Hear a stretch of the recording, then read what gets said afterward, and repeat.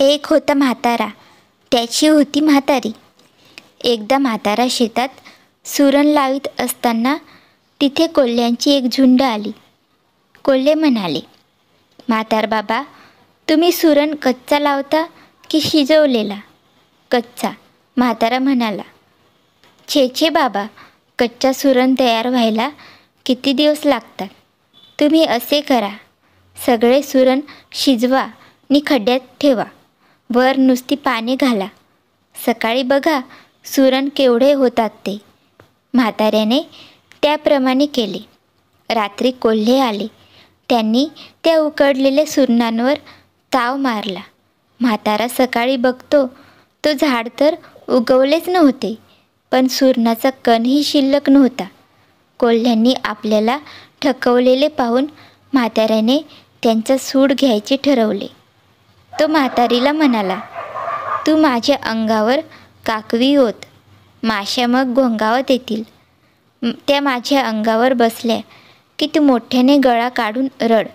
कोल्हे काय झाले म्हणून विचारायला येतीलच.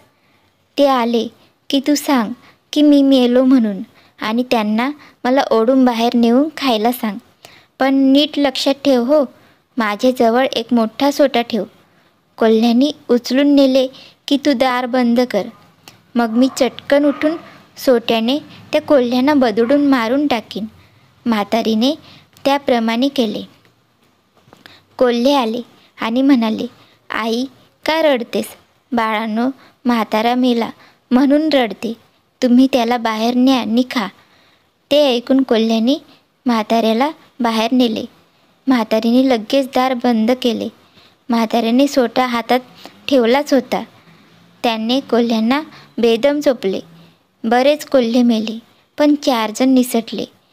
त्यानंतर कोल्ह्यांचा उपद्रव नाहीसा झाला. तेव्हा म्हातारी म्हाताऱ्याला म्हणाली आता कोल्ह्यांची पीडा गेली तर मी लेकीकडे जाऊन येते. म्हातारा म्हणाला जा पण एकटीच जाते आहेस हे लक्षात ठेव. ते चार कोल्हे तुला सतावतील पण म्हातारी बेत बदली ना ती निघाली. अर्ध्या वाटेवर त्या कोल्ह्यांनी तिला गाठले. ते म्हणाले म्हातारे आम्ही तुला खाणार. म्हातारी म्हणाली बाळांनो मी बरेच दिवसात लेकीला भेटले नाही. मरायची आधी तिला भेटून येते. मग तुम्ही मला खा. तू परत आली नाहीस तर? अरे बाबांनो माझा नवरा घरी आहे तर मी परत कशी नाही येणार? मी शपथ घेते. मी परत आले की तुम्ही मला खा. कोल्ह्याने तिला जाऊ दिले. लेकीकडे म्हातारी काही दिवस राहिली. खाऊन पिऊन सुखावली. परत जाताना तिने लेकीला कोल्ह्यांबरोबर केलेला वायदा सांगितला. लेकीने एका सुक्या भोपळ्यात म्हातारीला बसवले. गडगडत भोपळा जाऊ लागला. भोपळा म्हातारीच्या घराजवळ आला. तेवढ्यात कोल्ह्याने त्याला पाहिले. भोपळा कसा चालतो? याची त्यांना नवल वाटले. त्यांनी तो फोडला तर आतून म्हातारी निघाली. कोल्हे म्हणाले म्हातारे तू आम्हाला फसवून निसटून जात होतीस. आता आम्ही तुला सोडित नाही. आम्ही तुला खातो. खा बाबांनो पण मला की नाही एक सुरेख नाच येतो. तो मी तुम्हाला दाखवते. नि मग तुम्ही मला खा. कोल्ह्याने ते कबूल केले. म्हातारी नाचू लागली. नाचता नाचता गाऊ लागले. माझे रोंग्या ये रे माझे काळ्या ये रे. रोंग्या आणि काळ्या. हे म्हातारीचे दोन कुत्रे होते. त्यांच्या कानी आपले नाव पडले. आपली मालकीन आपल्याला बोलावते आहे.